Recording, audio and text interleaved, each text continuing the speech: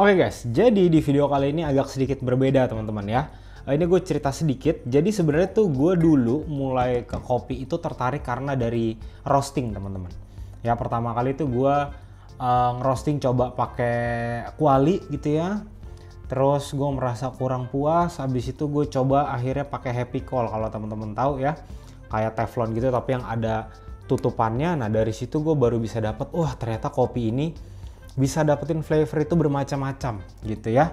Nah habis itu akhirnya gue sempet beli eh, satu mesin roasting kapasitas 1 kilo itu belinya dari Co William Edison ya itu yang W600i generasi kedua yang dia sudah double jacket gitu ya. Nah habis itu baru gue eh, tertarik ke manual brew gitu ya terus ke espresso dan segala macemnya lah. Habis itu gue baru ngambil kelas dan macem-macem gitu ya.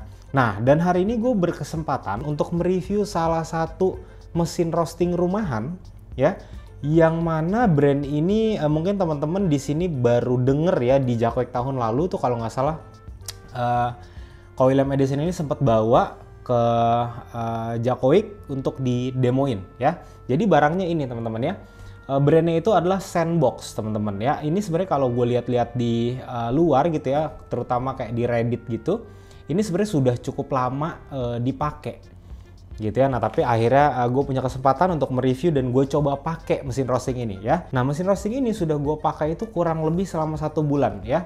Gue udah mulai roasting, eh, coba roasting dari yang light roast, light to medium, medium roast, terus kopi lokal, terus kemarin sempet eh gue coba ngerosting kopi geisha punyanya Ardi ya. Itu gue coba geisha yang full wash sama yang natural gitu. Dan overall hasilnya menurut gue oke banget teman-teman nggak perlu uh, dimacem-macemin lah. Nah karena nanti akan gue kasih lihat ke teman-teman cara pakai seperti apa karena dia sudah ada aplikasinya. Jadi teman-teman tinggal ikutin ya ikutin uh, roasting profile yang sudah disediakan. Tapi kalau teman-teman mau ubah-ubah juga bisa. Nanti akan gue kasih lihat ya. Jadi gue uh, unitnya dua seperti ini. Ini untuk mesin roastingnya dan ini untuk uh, cooling tray-nya teman-teman ya. Jadi dia sudah ada kipasnya dan menurut gue ini kipasnya kenceng banget. Ya boxnya sederhana banget, coklat seperti ini ya. Ada gambarnya di sebelah sini. Nah, eh, untuk sandbox ini dia ada dua jenis teman-teman ya. Yang akan gue review ini yang R1. Kapasitas roasting itu 100 sampai 150 gram. Nah, yang di atasnya itu ada R2. Itu kapasitas kali roasting itu bisa sampai 500 gram. Nah, ini langsung aja gue bongkarin dulu buat teman-teman ya. Eh, gue kasih lihat teman-teman dapatnya apa aja. Oke, lanjut. Oke, teman-teman. Jadi ini yang teman-teman dapatkan ya. Nah, terus kelengkapannya apa aja teman-teman? Ya, pertama teman-teman sudah pasti akan dapat manual book ya. Manual book ini gue nggak pernah bosan untuk bilang ke teman-teman jangan lupa dibaca ya karena di sini teman-teman bisa dapetin infonya itu lebih jelas. Oke. Terus yang berikutnya teman-teman di sini akan dapat sarung tangan teman-teman ya. Nah, kenapa uh, teman-teman dapat sarung tangan seperti ini ya? Karena ini uh, sarung tangannya tebel karena nanti teman-teman butuh untuk keluarin si kopinya yang setelah di roasting terus dipindahin ke cooling tray ini gitu ya. Karena itu panasnya teman-teman bisa mencapai 200 derajat lah kurang lebih. Oke? Nah terus yang berikutnya teman-teman di sini akan dapat kuas. Nah kuas ini nanti gua akan kasih tahu teman-teman buat bersihin apa-apa aja gitu ya. Nah ini untuk unit uh, coffee roasternya. Satu lagi ini untuk cooling tray-nya teman-teman ya. Ini cooling tray-nya seperti biasa teman-teman juga dapat manual book ya. Sebenarnya kalau untuk cooling tray ini tidak tidak uh, teman-teman nggak baca manual booknya masih masih nggak masalah lah ya. Oke terus ini ada bagian atasnya ya seperti ini. Ada lubangnya. Terus untuk cooling tray-nya tuh di sini ada kipas teman-teman ya. Ada kipas dan ini ada kabelnya teman-teman bisa colok listrik tuh ya seperti ini. Nah, kalau teman-teman lihat seperti ini, kipasnya kecil, pasti pertama kali yang ada di pikiran teman-teman, wah nanti proses ngedingininnya lama nih, ya. Nanti keburu beansnya uh, proses roastingnya masih berjalan. Enggak, teman-teman. Ya, jujur pertama kali gue lihat cooling tray-nya seperti ini, gue langsung mikir, oke, okay, apakah dia bisa mendinginkan dengan cepat? Tapi ternyata cepat, teman-teman. Kipasnya tuh kenceng banget, gitu ya. Nah, terus uh, kita fokus ke mesin roastingnya, ya. Nah, mesin roastingnya tampilan depannya uh, seperti ini terus di sebelah kanan ya teman-teman ya di sebelah kanan dari si mesin roasting ini ada lubang-lubang tuh ya ini sebenarnya kayak semacam lubang exhaust untuk ngedinginin bagian part-part dalam dari mesin roastingnya. Oke sebelah kanan terus sebelah kirinya di sini juga banyak lubang teman-teman ya. Tuh ya. Bagian dua ini ya exhaust yang sebelah bawah ini nih dia sama untuk ngedinginin part bagian dalamnya. Ya, terus yang bagian atas ini dia ini airflow untuk ngeluarin udara panas yang dihasilkan ketika kita ngerosting. Oke, jadi exhaust ini gunanya untuk narik panas. Oke, terus berikutnya di bagian depan ya kalau teman-teman lihat di sini kayak ada tombol ya. Ini sebenarnya lampu teman-teman ya, lampu LED yang ada di dalam uh, drum ini supaya teman-teman bisa lihat ya kondisi binsnya gitu ya. Tapi memang sayangnya tuh ketika uh, lampu ini dinyalakan gitu ya karena dia terlalu terang jadi teman-teman nggak bisa lihat kondisi binsnya warnanya seperti apa ya tapi menurut gue itu bukan hal yang terlalu bermasalah lah. Ya karena awalnya gue juga berpikir hal yang sama. Waduh nanti gimana nih cara lihat binsnya ya tapi ternyata uh, tidak terlalu penting ya kalau teman-teman pakai mesin roasting ini. Oke terus berikutnya di bagian bawah ya di sini ada kayak semacam tray. Ini untuk chaff kolektor teman-teman ya. Jadi ketika teman-teman roasting nanti ada chaffnya, silver skinnya itu yang terbakar akan turun ke bawah sini. Ya ini tinggal teman-teman uh, buang aja ya. Ya nah ini pintunya teman-teman ya. Pintunya ditarik. Nah buka seperti ini. Nah di dalam di sini teman-teman bisa lihat untuk drumnya. Tuh drumnya seperti ini teman-teman ya. Ini tinggal dibuka, nanti green beansnya teman-teman masukin ke dalam sini. Oke, seperti ini ya. Nah, di dalam sini ya uh, kalau teman-teman bisa lihat jadi dia itu sistem pemanasnya bukan dengan hot air teman-teman ya dia ini memang masih ada elemen pemanas yang letaknya ada di sini nih ada di dalam sini nih ya di sini ada kayak semacam tiga nih tiga lampu gitu ya jadi nanti ini akan nyala nanti di jarak dekat akan gua kasih lihat ke teman-teman pada saat uh, mau tes roastingnya gitu ya Nah, terus uh, untuk probe-nya, probe itu untuk ngukur suhu. Ya, ngukur suhunya itu ada di dalam sini, teman-teman. Dia ada posisinya ada di pojok sebelah kanan atas. Ya, nanti akan gue kasih lihat juga. Gitu ya. Nah, terus untuk aplikasinya ini nanti teman-teman bisa langsung download itu bisa di tab atau di tablet atau di handphone gitu ya. Handphonenya ini bisa pakai Android atau Apple. Ya, jadi teman-teman bisa banget gampang tuh ngerosting gak usah ribet-ribet lah tinggal pencet-pencet aja gitu ya. Nah, abis ini gue akan langsung kasih lihat ke teman-teman aplikasinya seperti apa, terus tampak dekat dari si mesin roasting ini gimana. Oke, lanjut. Oke guys ya, jadi kalau dari dekat seperti ini ya. Nah, ini untuk yang tadi yang gue bilang drumnya seperti ini. Nah, nanti pada saat pasang drumnya ya, ini gue akan kasih lihat ke teman-teman bagian bawah sini nih ya. Ini harus nyangkut ke kayak notch yang ada di dalam sini ya supaya nanti di uh, si drumnya itu nggak maju mundur gitu ya nggak rusuh lah muternya ya oke sekarang kita lihat ke bagian dalam drumnya ya ini dibuka oke nah sistem penguncinya di sini teman-teman lihat ya. Tuh dia kayak begini dia harus ngunci ke dalam sini. Oke nah sekarang kita pencet ini nih untuk lampunya. Tuh ya untuk lampu seperti ini. Nah untuk probe-nya teman-teman ya probe-nya dia ada di sebelah situ teman-teman. Tuh nih ya. Yang ini dia ini probe-nya. Jadi teman-teman pastikan ketika habis selesai roasting ya itu teman-teman harus bersihkan supaya nanti si uh, mesin ini bisa membaca suhunya itu dengan tepat teman-teman ya. Nah terus untuk elemen pemanasnya ada di sebelah mana bang? Nah tuh yang ada tiga sini. Satu dua tiga. Ya dia ada tiga jadi uh, untuk powernya itu pun bisa diatur teman-teman ya. Nah terus di bagian bawah di bagian bawah situ ya itu teman-teman nanti ketika si drumnya ini berputar ya nanti chaffnya itu akan turun ke bawah terus teman-teman bisa buang chaffnya dari bawah sini. Gitu ya. Nah terus kalau teman-teman perhatikan ya. Di situ tuh ya. Tuh di sebelah situ dia tuh ada kayak semacam pintu teman-teman. Ya tuh. Nah pintu itu harus teman-teman tutup ketika mau roasting. Ya nih ya yang sebelah si ini ini nih nih. Nah itu namanya kalau teman-teman lihat di manual booknya itu air inlet gate teman-teman ya. Jadi dia itu untuk airflow-nya lah ya membantu airflow dari uh, luar untuk masukin udara dingin ke dalam gitu ya biasanya itu kepake pada saat proses teman-teman mau habis first crack lah ya nah terus yang berikutnya untuk posisi uh, airflow-nya ya teman-teman ya airflow-nya dia yang keluar itu dia ada di sebelah sini nih. Semoga terlihat ya. Tuh, nih teman-teman ya. Tuh, airflow-nya dia ada di sini nih. Ya, tuh ada di sini. airflow-nya jadi itu nanti nyedotnya keluar ke yang gue bilang tadi nih. Nih yang sebelah sini. Makanya di sini kelihatan kayak ada noda warna coklat gitu ya. Tuh sebelah sini. Dan ini sebenarnya nanti harus dibersihkan secara berkala teman-teman ya. Supaya uh, airflow-nya itu tidak terhambat. Gitu ya. Jadi ini kalau misalnya nanti mau mulai roasting ya pintunya dibuka ini dipasang ke dalam. Nah terus nih ya kalau tonton perhatikan tuh ya. Di sini kayak ada semacam knock gini ya. Nah ini harus masuk ke sini. Masuk pastikan masuk baru habis itu, itu ditutup. Udah tutup habis itu udah mulai proses roastingnya. Gitu ya. Nah habis ini gue kasih lihat ke teman-teman. Gue mau coba roasting ini kopinya uh, kopi kamojang ya full wash itu nanti gue mau coba profilnya itu pakai light roast ya biar teman-teman lihat nih hasilnya seperti apa. Oke lanjut. Untuk aplikasinya ini teman-teman ya namanya Sandbox Smart. Ini free teman-teman. Download aja mau di iOS atau di Play Store ada ya. Oke pertama kita coba buka. Nah untuk aplikasi ini sebisa mungkin tuh teman-teman login dulu aja ya.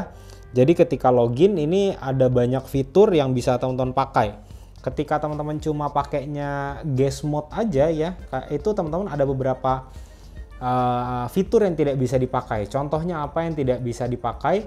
Ini teman-teman lihat ya. Ada beberapa di profile database ini yang teman-teman nggak bisa pakai. Gitu. Kalau misalkan teman-teman sudah login ya ini teman-teman bisa pakai nih semuanya. Dan di sini sudah ada uh, pattern untuk uh, rose profile ya teman-teman ya dari light rose, light slow sampai ke ini teman-teman ya strong and mellow flavor. Kita jadi bisa dikatakan teman-teman bisa pakai dari light rose sampai ke uh, dark rose lah gitu ya. Nah ini uh, gue sudah coba pakai berapa kali nih? 14 kali roasting tuh ya.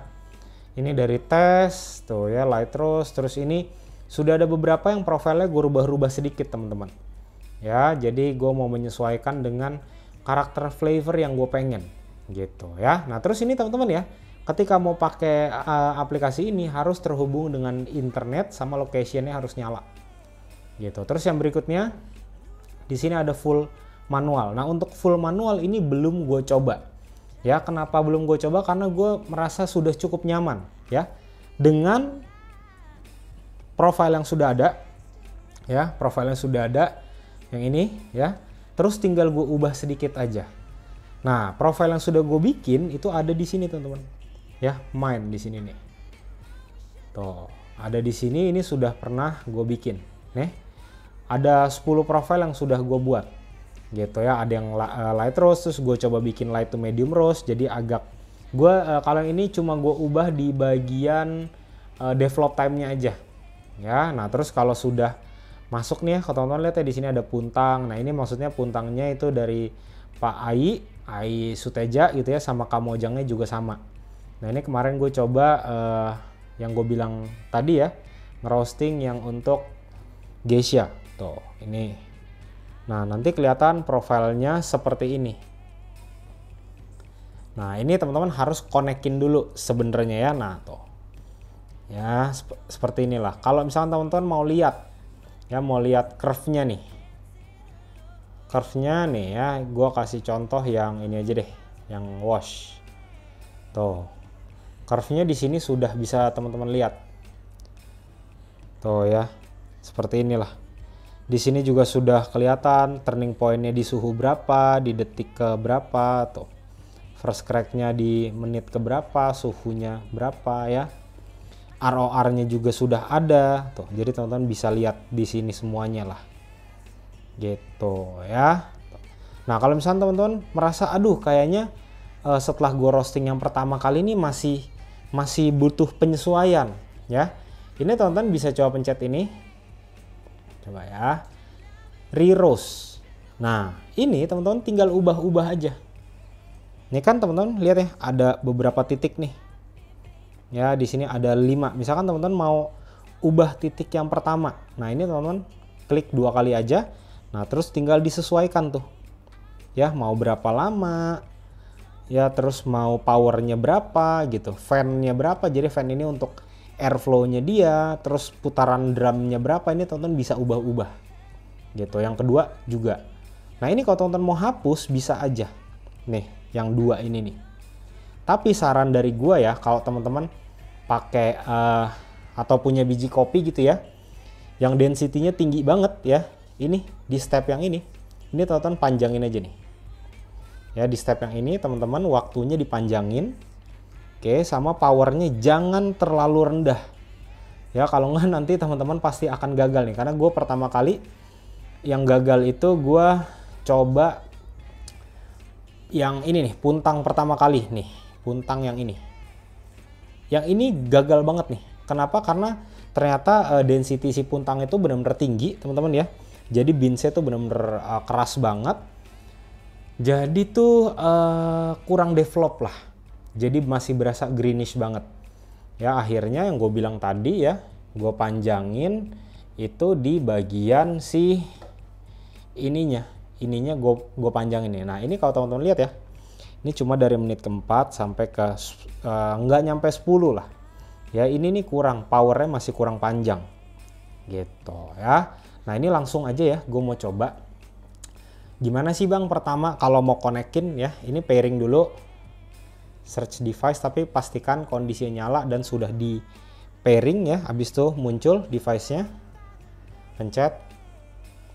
Connect tunggu aja. Nah kalau sudah connect nah ini misalkan gue mau coba profil yang sudah gue buat ya. Ini nih ya Kamojang full wash. Pencet. Oke nah ini pertama kali sudah pasti harus yang namanya preheat teman-teman. Ya preheatnya itu nanti tinggal tonton pencet aja nih. Nah tapi di sini gue mau coba ubah karena gue merasa kemarin gitu ya si kamojangnya ini agak terlalu gelap. Gue mau sedikit mudain teman-teman ya. Jadi benar-benar lighters banget. Jadi yang gue ubah itu setelah first crack. Ya ini gue ubah ke secondnya jadi 20 detik aja. Oke kita pencet. Nah terus teman-teman juga bisa nih preheatnya mau suhu berapa? Gitu. Atau ya di sini juga sudah ada nih bisa teman-teman ubah-ubah. Ya di sini gue main di 200 saja sudah cukup. Oke pencet. Kalau mau di save ya udah nih pencet yang kanan aja save current profile save. Gitu. Ya atau ya sudah ke save. Nah ini ketika seperti ini mau teman-teman langsung mulai uh, roasting boleh. Ini tinggal pencet start aja. Nah tapi di sini gue ada beberapa tips teman-teman ya. Tipsnya adalah ketika teman-teman roasting teman-teman ingat uh, airflow-nya dia untuk ngeluarin panas ada di sebelah kiri mesinnya ya. Jadi sebisa mungkin teman-teman taruh untuk ininya ya. Untuk pendinginnya jangan di sebelah kiri, tapi di sebelah kanan aja. Kenapa jangan di sebelah kiri? Karena nanti takutnya ketika si binsnya ditaruh kan panas, dia kan ada akan nyedot panas nih. Nah, panas yang dari situ masuk ke dalam sini. Jadi binsnya tuh lama dinginnya. Jadi pindahin aja ke sebelah kanan. Ya, ini gue prep dulu, gue siapin binsnya segala macam. Kalau sudah ready langsung kita mulai roastingnya. Oke, lanjut. Oke guys, jadi ini sudah gue siapkan beansnya. Ya, nah pertama kali ketika teman-teman mau ngerosting, ya, ini dikeluarin dulu aja. Ya, si drumnya keluarin dulu aja, ini diambil. Oke. Nah terus ini beansnya dimasukin ya. Ini dibuka aja seperti ini, masukin.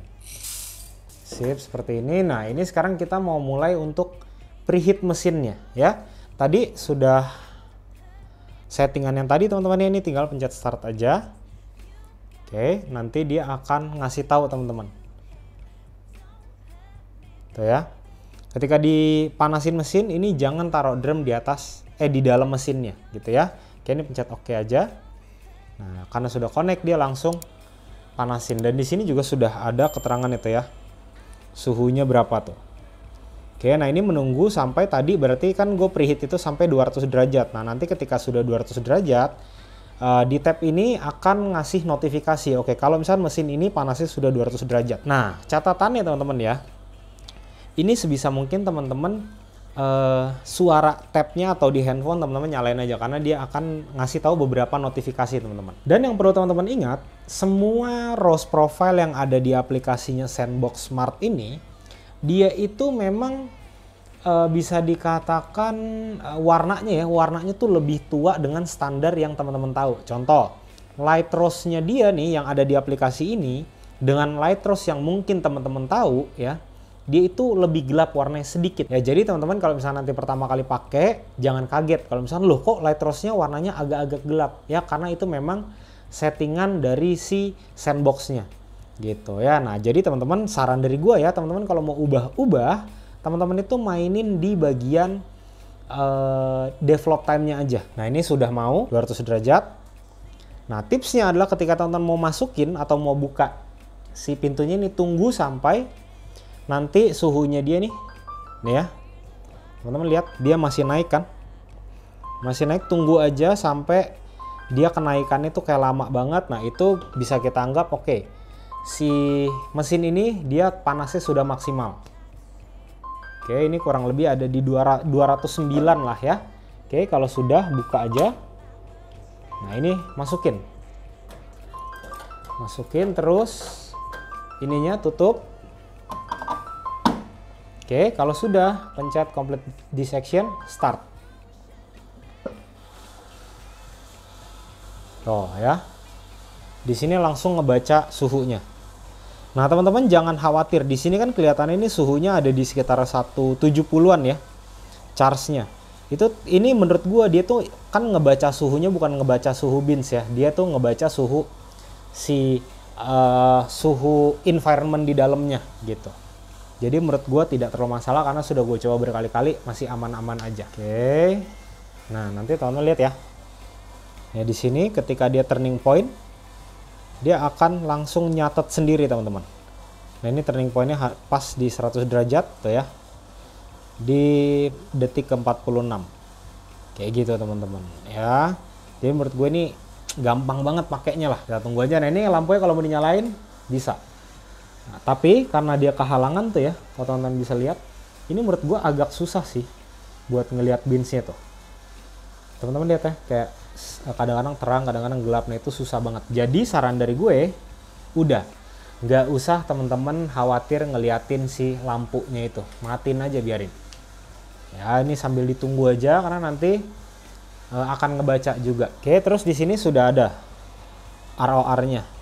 Oh ya, jadi teman-teman bisa ngelihat nih ini gue set per 60 detik teman-teman ya. Jadi teman-teman nanti bisa ngebaca banget lah gampang banget.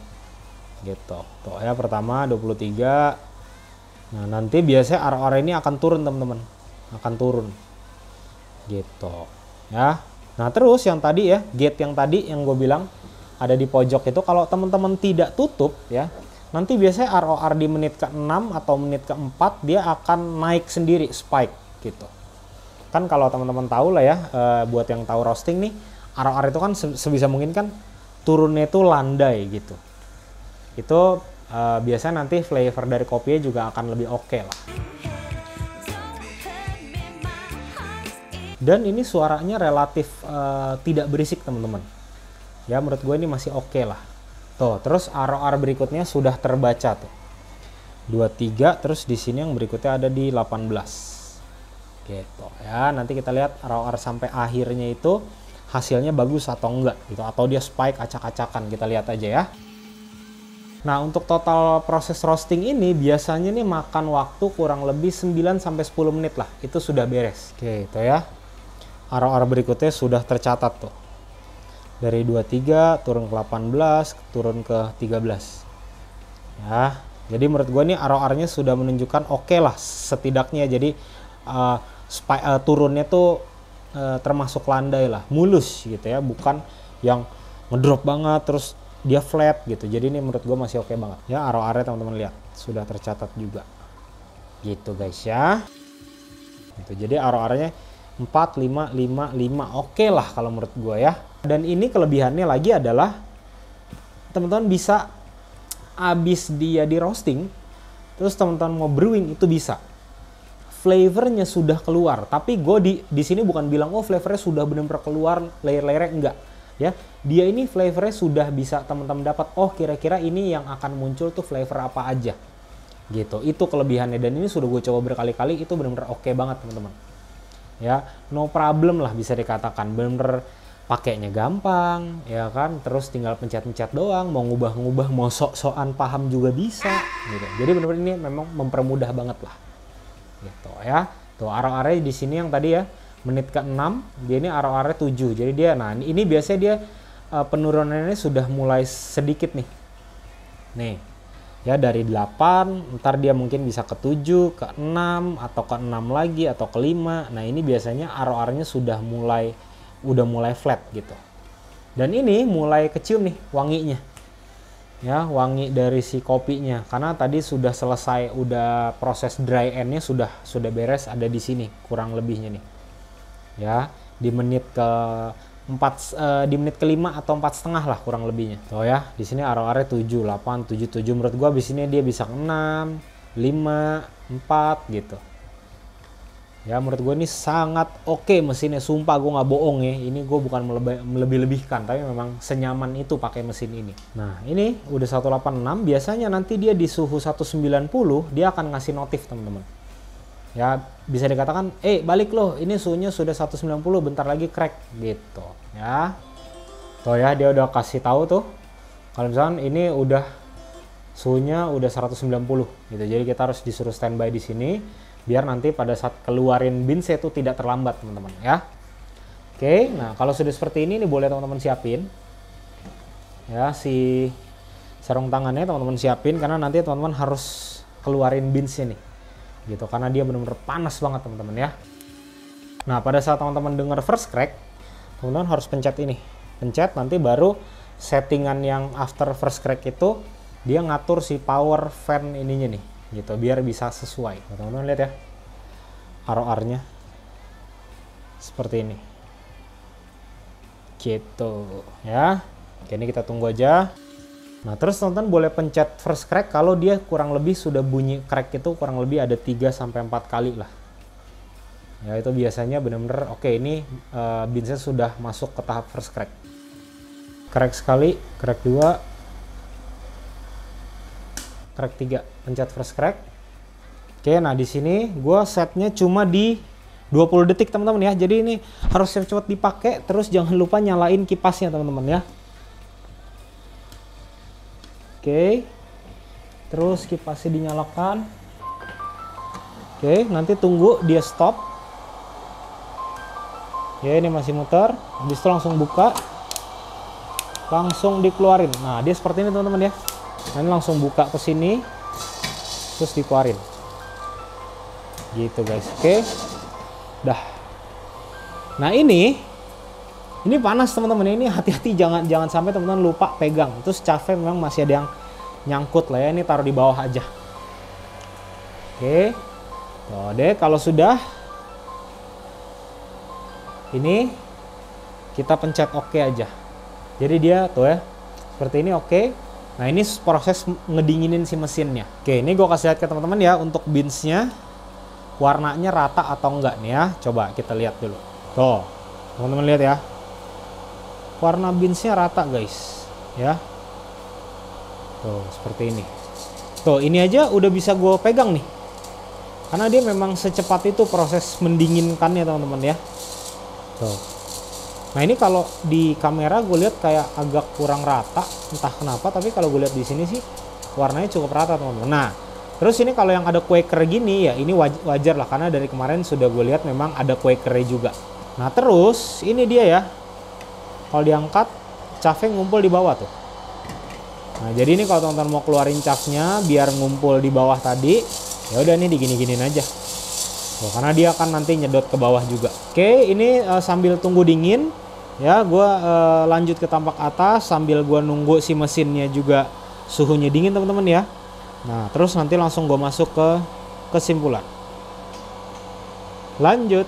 Nah teman-teman ketika dia suhunya sudah mencapai 50-an ya ini teman-teman boleh nah, mau di cancel boleh atau mau diemin aja sampai dia benar-benar menganggap oke okay, proses pendinginannya beres ini teman-teman boleh uh, bersihin si bagian dalamnya teman-teman ya. Dibuka.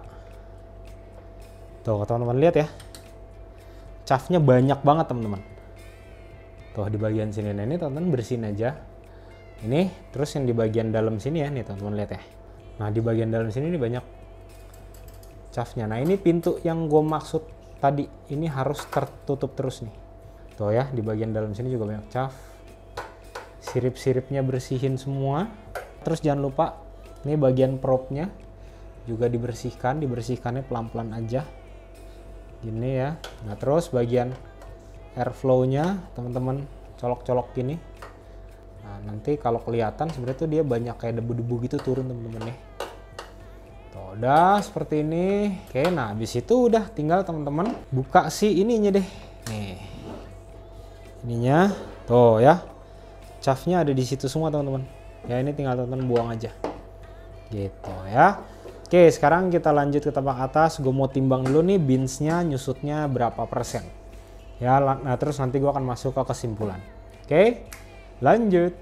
Oke teman-teman, gimana setelah tadi lihat ya uh, dalemannya kayak apa, part-partnya gimana, terus proses roastingnya itu seperti apa? Silahkan teman-teman nilai sendiri aja. Nah tadi beansnya ya sudah gue timbang masuknya 100 gram, keluarnya itu tanpa gue sorting ya, uh, quakernya atau yang pecahnya itu beratnya 87,5 jadi penurunannya sekitar 12,5 persen. Nah menurut gue itu masih bisa dikatakan masuk light roast lah ya. Dan ini langsung gue seduh teman-teman ya. Ini langsung gue coba seduh gitu ya. Dan memang flavornya keluar teman-teman. Oke ini gue cobain dulu. Flavornya udah keluar tapi di sini gue nggak mau bohong ya. Di belakang ini masih kerasa gesinya tuh masih ada. Baru banget di roasting bos. Baru beberapa menit langsung gue seduh ya. Tapi kalau misalkan gue sudah bandingkan ya gue cobain dengan hasil kopi yang baru di roasting pakai mesin yang batch ya katakanlah satu kilo itu flavornya beda banget bos. Nah di sini jujur gue masih mengira-ngira oke okay, apakah mungkin? Karena ini kapasitasnya hanya 100 gram ya. Terus dia untuk hexhausnya lumayan kenceng nyedotnya jadi tuh uh, entah asapnya atau entah gasnya itu lebih cepat ketarik. Jadi dia tidak sempat diserap lagi sama si beans. Apakah mungkin seperti itu ya mungkin buat teman-teman yang paham yang lebih pro mengenai roasting boleh tulis di kolom komentar kira-kira kenapa gitu ya. Oke, sekarang kita bahas ke mesinnya. Ya mungkin di sini ada yang tanya, "Bang, ini mesinnya sama uh, mesin roasting sama si cooling tray-nya itu uh, wattnya berapa, Bang?" Ya. Nah, untuk mesin roastingnya sendiri 650 watt. Itu mungkin ya ketika teman-teman set powernya di 100 dia baru 650 watt ya. Sedangkan untuk kipasnya ini ada di sekitar 16,5 watt tulisannya ya. Ya 16,5 watt. Jadi ketika teman-teman nyalain keduanya ya, di sini wattnya nggak sampai 1000. Oke. Nah, terus e, berikutnya lagi adalah kalau teman-teman pakai buat di rumah gitu ya. Karena memang gue sudah lihat di uh, di forum gitu ya di Reddit itu di sana tuh kebanyakan yang pakai memang home brewer atau home barista lah. Ada juga beberapa orang yang gue baca-baca dia tuh memang khusus pengen jualin kopi-kopi eksotis gitu ya kayak Geisha terus mungkin ada jualin uh, Eugeniodes gitu ya dia tuh pakai mesin roasting ini gitu. Karena batchnya kecil teman-teman. Ya dia uh, roasting sekali roasting 150 gram 150 gram terus dijualin. Itu oke okay banget. Sekarang teman-teman cek aja harga kopi Geisha atau kopi-kopi eksotis apa pun lah ya harganya berapa. Ya green beannya terus teman-teman bisa jual berapa terus tinggal dihitung aja biaya-biayanya. Nah terus yang berikutnya, ini cocok banget mungkin buat teman-teman yang baru belajar roasting gitu ya, baru belajar roasting, baru beli mesin yang satu kilo. Ya karena kan kalau roasting satu kilo itu menurut gua uh, sekali masuk katakanlah minimal itu mungkin sekitar 800 gram gitu ya. Biar nanti probe-nya yang buat suhu uh, ngebaca suhu itu bisa benar-benar masuk atau kena ke binsnya biar suhunya ngebacanya tepat. Nah, dengan teman-teman pakai mesin ini ya harganya pun kedua ini cuma 12 jutaan, menurut gue teman-teman itu bisa tahu oke okay, karakter dari beans yang mau gue roasting ini seperti apa. Gitu ya teman-teman mungkin mau coba light roast, medium roast sama dark roast katakanlah tiga teman-teman mau mau tes. Nah jadi teman-teman setidaknya teman-teman tahu nih ketika teman-teman roasting pakai mesin yang gede, oke okay, ini flavornya sudah sesuai belum sih kurang lebih menurut gue seperti itu. Karena kalau gue lihat ya kalau lihat dari si grafiknya ini teman-teman mau coba kopi untuk ke mesin gede masih bisa tapi memang tidak segampang membalikan tangan, enggak. Yang pertama teman-teman harus kenal dulu karakter mesin ini seperti apa, terus mesin yang gede teman-teman pakai itu karakternya seperti apa. Gitu, karena gue jamin ini karakternya beda teman-teman ya. Even uh, mesin ini ya R1 ini teman-teman bandingin sama mesin sampel roasting yang seperti tabung itu itu menurut gue tidak bisa disamakan juga. Kenapa? Karena sistemnya beda. Ya kalau yang tabung seperti itu itu uh, sistemnya pakai hot air Sedangkan kalau ini tadi teman-teman lihat ya dia sudah ada tiga elemen pemanas yang mana itu beda lah. ya sistemnya beda cara masaknya beda lah ke kedua alat itu jadi tidak bisa dibandingkan menurut gua tapi kalau dari segi hasil ini sudah pernah dicoba sama orang yang punya uh, mesin roasting seperti itu juga orangnya bilang oke okay, ini oke okay loh ini rasanya sudah keluar. Itu karena memang mesin ini tuh segampang itu dipakainya dan hasilnya pun bagus. Menurut gue bagus. Gitu ya. Gue mungkin nextnya akan bikin video lagi sebulan sekali atau sebulan dua kali mengenai mesin roasting ini beserta dengan tips-tipsnya. Karena nanti gue akan kasih tahu teman-teman tipsnya untuk membersihkan ya uh, mesin roasting ini seperti apa. Karena harus ada beberapa bot yang dibuka terus teman-teman bersihin gitu ya. Nah buat teman-teman kalau misalkan nanti mau beli mesin ini teman-teman bisa langsung DM gue aja ke Instagram atau nanti gue cantumin email gue di deskripsi. Teman-teman langsung cek aja. Ya nanti gue akan coba bantu teman-teman. Oke bagaimana cara uh, pengoperasiannya? Nanti mungkin akan gue share juga ROS profile gue seperti apa gitu ya. Jadi biar bisa kita saling berdiskusi lah. Oke teman-teman kalau misalnya teman-teman masih mau tanya mengenai alat roasting ini silahkan teman-teman tulis di kolom komentar atau langsung DM gue ke Instagram aja. Oke teman-teman sampai ketemu di video selanjutnya thank you